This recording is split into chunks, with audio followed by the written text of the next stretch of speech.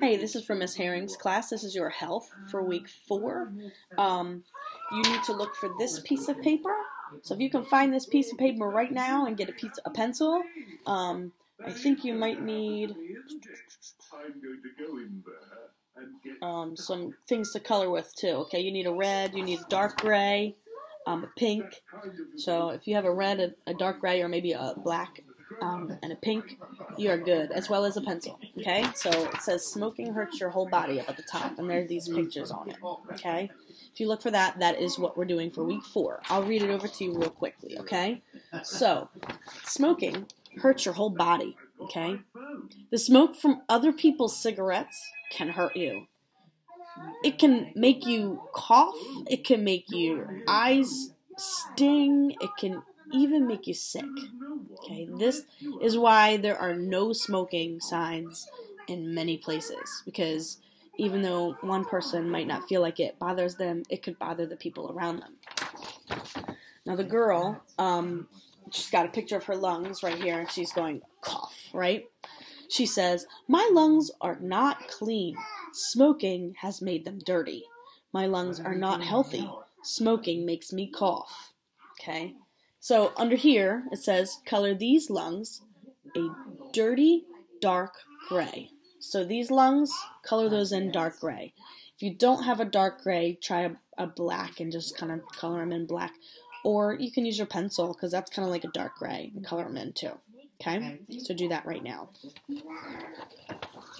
If you take a look at the, the no smoking sign, the cigarette with the little no in front of it, okay? This sign means no smoking allowed here. Color this sign, the circle with the line in it, color that red. Okay, you're going to color that red. And the the guy, okay, who's got the glasses right over here, okay, he says, I don't smoke. My lungs are clean and healthy. So you're going to color these lungs a nice clean pink, okay? And you guys can feel free to color in the, the people, the rest of the people, their bodies and their faces, whatever colors you'd like. Okay, but um, as long as you color these ones dark gray, this sign is red, and these lungs are pink. Healthy lungs are pink. They're not supposed to be dark gray. So that's why his lungs are colored pink. Okay. Down at the bottom, um, right here, okay, it says problems. Everyone has problems and feels sad sometimes. Everyone gets upset, scared, or lonely. Even grown ups can feel this way. Some people scream and yell when they have problems. Some people hurt others or take drugs when they have problems. None of these things will help their problems go away. What do you do when you have a problem? You can talk to someone about why you are sad. Sharing your problems makes you feel much better. You can play with your friends you can read a funny book. You can hug someone you love. Can you think of something else you can do when you have problems that's healthy?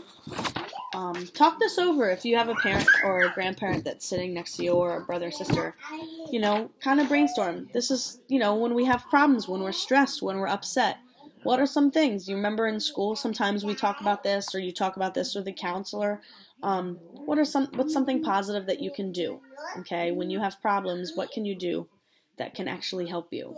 Okay, write it on the line here. If you need help, ask the person that you're with to help you spell it. But it's okay if you don't know how to spell it and you try your best. Okay, that's all I care about. If you could do me a favor, because there's no space, write your name up here on the top. Okay, don't forget to do that. I should have told you at the beginning.